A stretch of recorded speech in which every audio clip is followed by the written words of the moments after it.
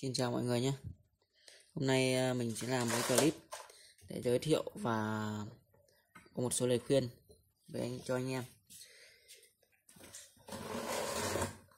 Đây cái hôm nay cái mạch hôm nay mình giới thiệu chính là cái mạch này.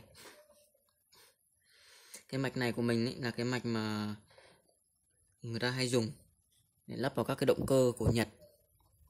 Lắp vào các động cơ của Nhật để điều chỉnh tốc độ nhé. Là điều chỉnh điện áp vào các động cơ Nhật nó chạy điện là 100 đến 110V người ta hay lắp cái thiết bị này vào để người ta điều chỉnh điều chỉnh dòng các bạn. Điều chỉnh dòng để cho điện áp ra thấp, còn đúng 110 cái thiết bị này thì ưu điểm nó rất là nhỏ gọn các bạn. Dễ lắp ráp. Đấy. còn cái nhược điểm của nó thì các bạn chạy các động cơ này rất rất là nóng nha các bạn nhé. Rất là nóng. Và chạy các thiết bị đấy thì nó cái nó sẽ bị hiện tượng là một số thiết bị dùng động cơ ấy, nó sẽ nóng vào om lý do ấy nóng vào om là do cái sóng của nó không phải là sóng sin nữa các bạn qua cái mạch này không còn sóng sin nữa. Đây bây giờ mình sẽ làm. Các bạn xem lắp rất đơn giản lắp ráp rất đơn giản. Chân in này là chân tín hiệu điện áp vào. Chân nào chân điện áp ra? Bây giờ mình mình nuôi một cái bóng đèn nhé.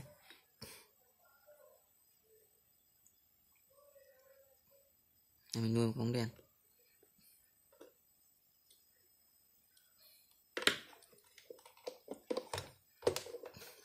Chân in bóng đèn sẽ là nguồn vào. Chân ao của nó. Chân còn lại của bóng đèn sẽ nối vào nguồn điện. Các bạn thấy không? Bây giờ mình sẽ cắm điện cho các bạn xem nhé. Các bạn thấy không đèn sáng nhé bây giờ mình sẽ cho tôi vít vào. Để mình chỉnh chỉnh cái chiếc áp này để điện áp ra nhé. Bây giờ mình sẽ đo điện áp trước xem đây là bao nhiêu volt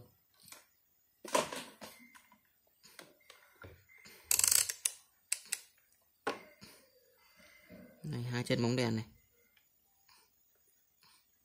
Các bạn thấy không ạ? Điện áp này của mình nó được chơi vào tầm khoảng độ gần 100V tức là nó đã xén rồi. Các bạn lắp các thiết bị 110 vào là chạy được nhé.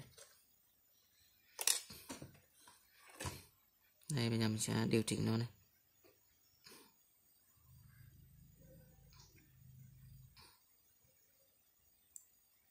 Bạn thấy không ạ? Tối dần đi này. Đấy. Và khi mình chỉnh lên nó tăng lên này. Đấy, này mình đang không có tối vít nên là hơi hơi ngại.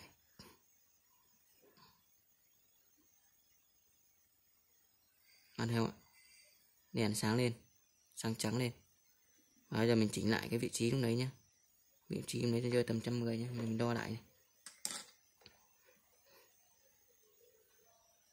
bây giờ nó rơi tầm 75V nhưng mình bắt đầu chỉnh lên, tăng lên một chút nữa.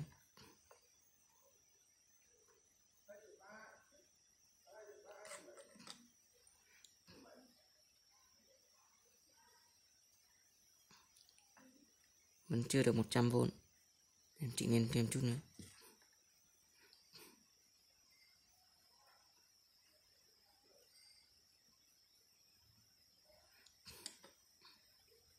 Đo đường ao nhé, hai chân à, thiết bị này được trăm vôn chuẩn này nhé. Bây giờ mình sẽ làm thí nghiệm cho các bạn thấy được là nó khác nhau cái gì. Vẫn là nguồn điện nó vẫn chạy bình thường, thậm chí là kể cả 220V nó vẫn chạy bình thường. Bây giờ nha, mình sẽ dùng máy hiện sóng để mình đo sóng, dạng sóng của nó nhé mình đây đây là dây chung này, đúng không? Dây chung. Và bây giờ mình sẽ đo bằng máy hiện sóng. Mình sẽ đo trước và sau khi qua cái bo này nhé. Đây bây giờ mình cắm vào thiết bị chạy rồi này. Mình sẽ đo này. Tín hiệu, đây là tín hiệu từ AC 220V vào mình vào. Các bạn thấy không ạ? Đây là sóng sóng xin nhé. Đấy, đằng sau nó này các bạn thấy không ạ. Sóng này của mình không còn là sóng xin nữa. Và cái sóng này nó rất là hại cho động cơ nhé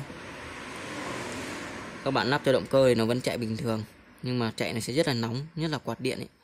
Nó nóng và có thể chết động cơ. Thời gian chết rất nhanh.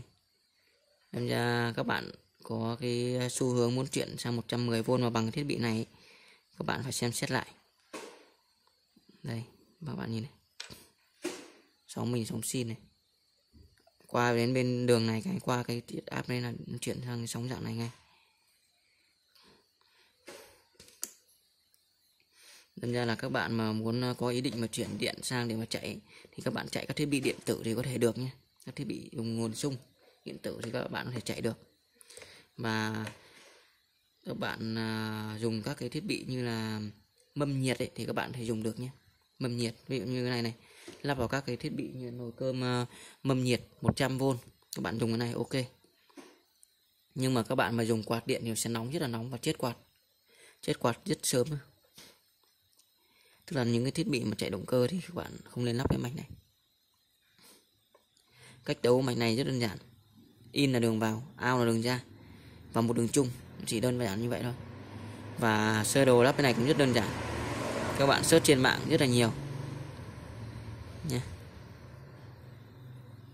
Cảm ơn các bạn đã theo dõi nhé.